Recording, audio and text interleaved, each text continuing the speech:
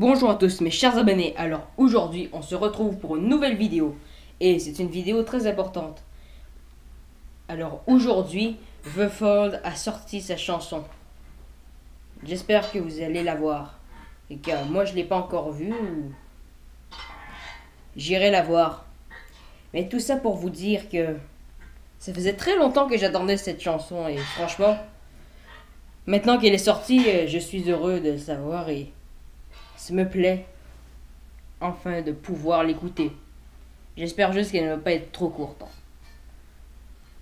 tout cas, quand j'ai vu le titre, je me disais Non, le titre c'est effroyable. C'est quoi ça De Shintaro Whip C'est ça simplement? On peut pas nommer un royaume avec un truc.